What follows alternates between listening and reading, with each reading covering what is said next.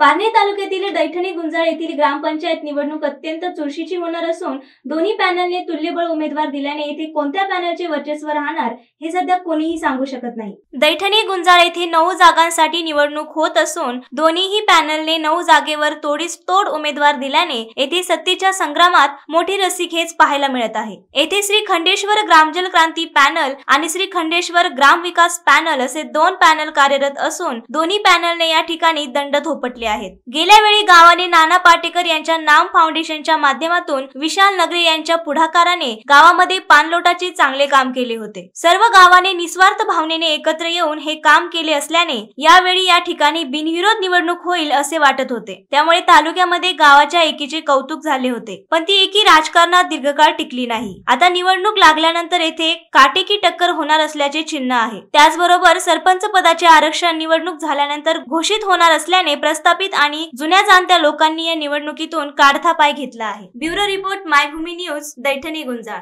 Ahmednagar जिल्ह्यासह संपूर्ण महाराष्ट्रातील प्रत्येक घडामोडीची अपडेट पाहण्यासाठी मायभूमी न्यूज आवाज जनमनाचा या चॅनलला सबस्क्राईब करा आणि बेल आयकॉनवर क्लिक करा.